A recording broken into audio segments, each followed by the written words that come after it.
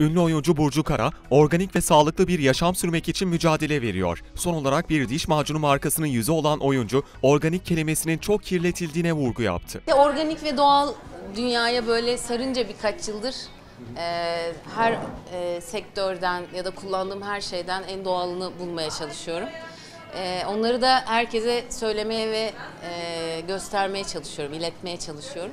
Bir de organik kavramı çok şey, e, çok kirlenmiş durumda. Yani pazarlara gittiğinde bile hani pazarcılar bağırır ya işte organik burada, organik doğal abla gel falan. Yani Hani niye nasıl organik bu? E, bahçede yetiştiriyorum. E, toprakta yetişen her şey organik değil ki. Her şey toprakta yetişiyor sonuçta. Ama onun işte şu kadar metreden yol geçmemesi lazım, üstünden uçak rotasında olmaması lazım, bilmem ne ilacının olmaması lazım gibi gibi onun o kadar çok prosedürü var ki. Yani organik çok başka bir şey.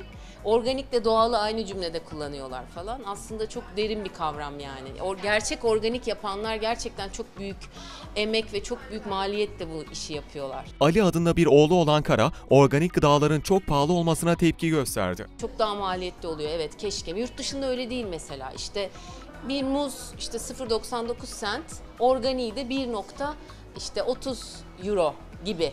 Bizde gerçekten 3 katı, 4 katı, 5 katı oluyor organik yiyecekler. Ee, işte Ali'ye diyorum ki hani atıyorum işte muzu çok seviyor ya da salatalı. Organiğini alayım çocuğa diyorum. Ha 5 katı yani.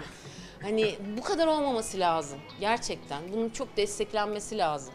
42 yaşındaki ünlü oyuncu, Bursa'nın İznik ilçesinde doğduğu evi yeniden yaptırmıştı. Fırsat buldukça eşi Fırat Parlak ve oğluyla köy evine giden Burcu Kara, aynı zamanda organik tarım da yapıyor.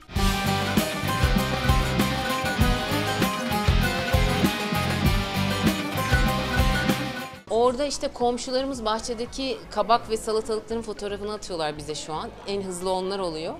Ee, işte Fırat'ın işi benim işim derken gidemiyoruz aslında. İşte bu cuma gideceğiz iple çekiyorum yani. Böyle bir emeklilik hayaliniz var mı peki ilerleyen yıllarda? Bilmem olabilir ama çok yakın zaten. Hani buradan da bir şekilde kopmamak lazım. Bir de geç anne olduk yani çocuk üniversiteye gittiğinde ben bayağı yaşlı olacağım. O yüzden şehir hayatını herhalde çok kopamam diye düşünüyorum yani. Hep git gel yapmak zorunda kalırım diye düşünüyorum. Oranın yakın olması bizim için büyük avantaj. Burcu Kara, ikinci kez anne olmayı çok istediğini anlattı. Tekrardan anne olma isteğiniz olur mu? Evet çok istiyorum. istiyorum evet. Yani Çok istiyorum. İnşallah inşallah. Eşiniz Umarım. ne düşünüyor? O da çok istiyor. Biz çok çocuk seviyoruz. Ben hep üç çocuğum olsun istedim hayatta. Biri hazır geldi hediye bana eşimden. Ee, yani bir tane daha olsa hayır demem.